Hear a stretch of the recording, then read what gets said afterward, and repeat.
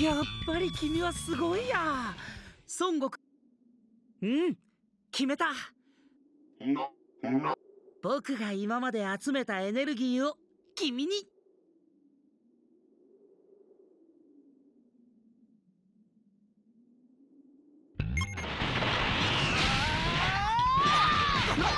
ま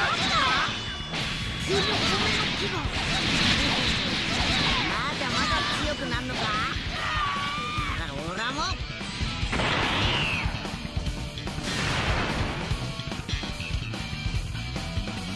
し来い。